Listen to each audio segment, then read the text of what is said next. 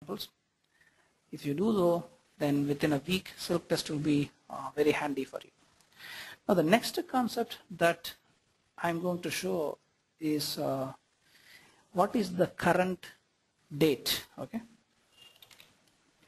I want to get the current date, there is something called date str, okay? There's a command called date str. If you want to get the current date, you can use that. Again, you can do either way. Uh, I'm saying this string s equal to date string print s, right? You can assign to a variable or directly print either way it is fine. Now I'm saying time str, okay? There is something called a time string, okay? Yes. Getting the date and the time. If you want to do that, use date str and time str. Now if I run this, okay,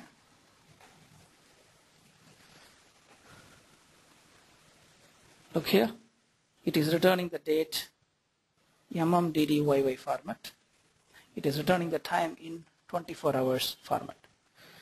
These two are very important functions when you are dealing with uh, date calculation, time calculations and other stuff. This will be very handy. Very simple commands, but definitely it is very, very helpful in terms of your programming aspects. Now, one other area that we would like to show today before we end this webinar today is that uh, someone is asking is the help for such function available in silk test if you go to help and then say help topics okay if you go to this help topics.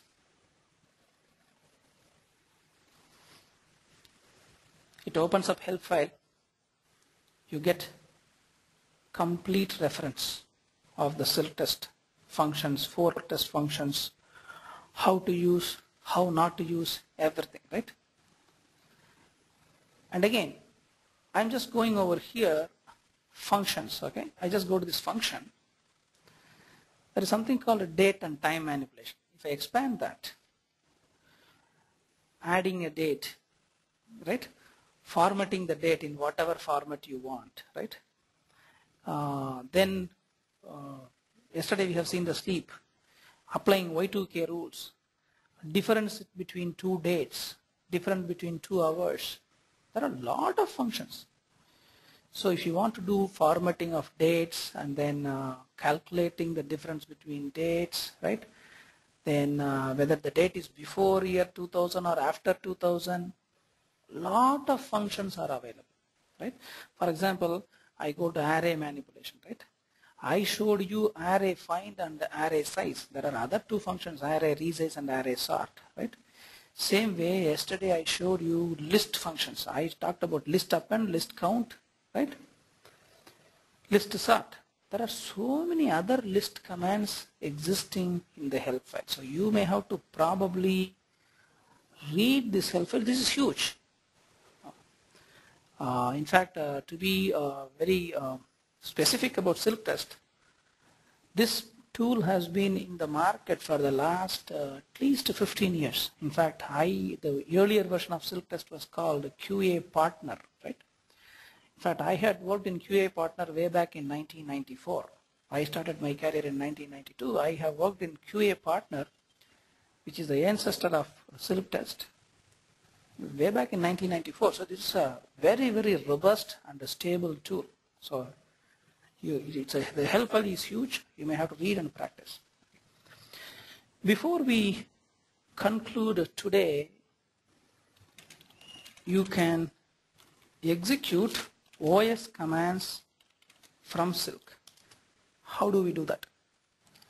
There is something called sys underscore execute there are a lot of commands that are saying uh, sys underscore.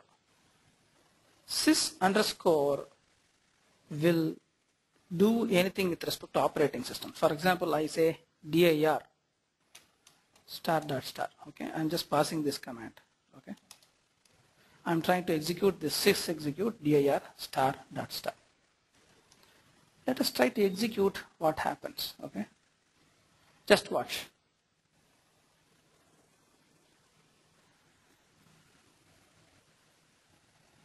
I am opening the result file. Look at this. The directory in which silk test is executing is colon program file C silk test. So current directory listing from where silk test is executing, it has taken it up. So if you want to rename a file, delete a file, right? Anything can be done. sys underscore execute, right? If I put del star dot star, we are in, in a mess, right? You can create a folder, rename, open file, delete file, type the file, sys underscore execute will execute any DOS prompt. Whatever you can do from the command prompt, right? CMD, right? From the command prompt, whatever you can do, sys execute command can do. This is one thing. There is one more thing. For example, uh, this is a notepad window, right? This notepad now exists. Now let me just uh, try to do this task manager. This notepad process exists. I'm opening Windows Task Manager. It shows process. Uh, we can look at the process IDs, okay? Let me just uh, process ID, okay? Again, I'm not sure whether it will work or not. The notepad has the process ID called 5868.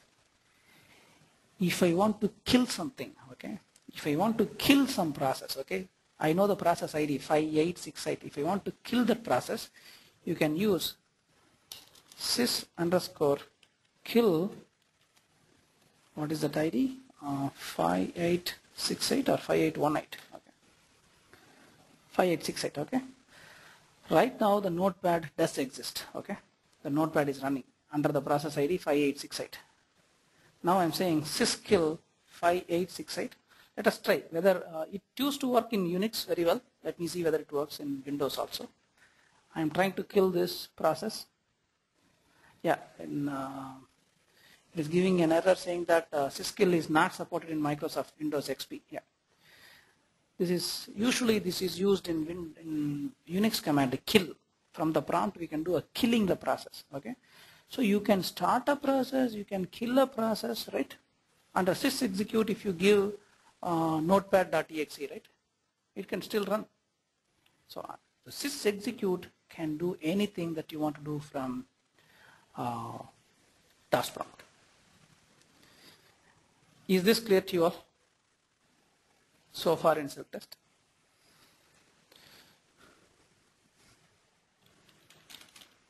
Good. Any questions in uh, today's uh,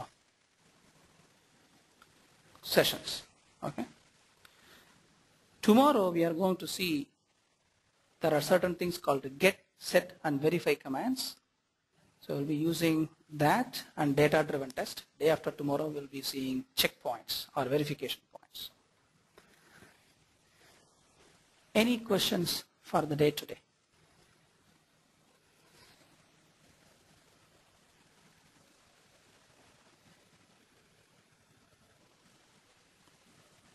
Okay. Uh, one person has asked, what is the cost of silk test again? Uh, that's a question to Borland. Probably have to ask Borland to give a quote.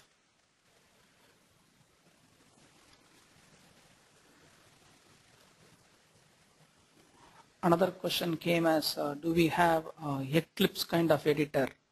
No. To edit note uh, 4Test you have to use only this kind of uh, editor. Since it is using formatting like indenting other stuff, you cannot use Eclipse or .NET editors. You have to use only Silk Test editor.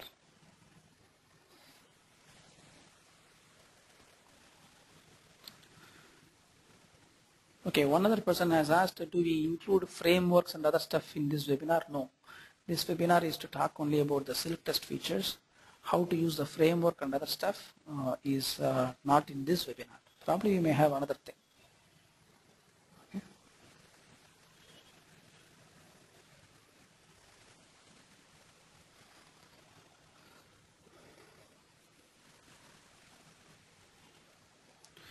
Again, silk is a common name, right? Silk test is something, silk performer is something different. So you have to use silk test, right? You have to use regression testing, right? You cannot use load testing. You have to use regression testing because this is a regression testing tool, functionality regression testing tool. So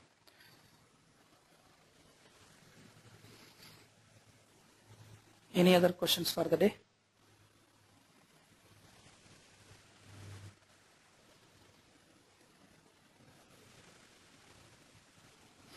Okay, thanks a lot. We will meet tomorrow.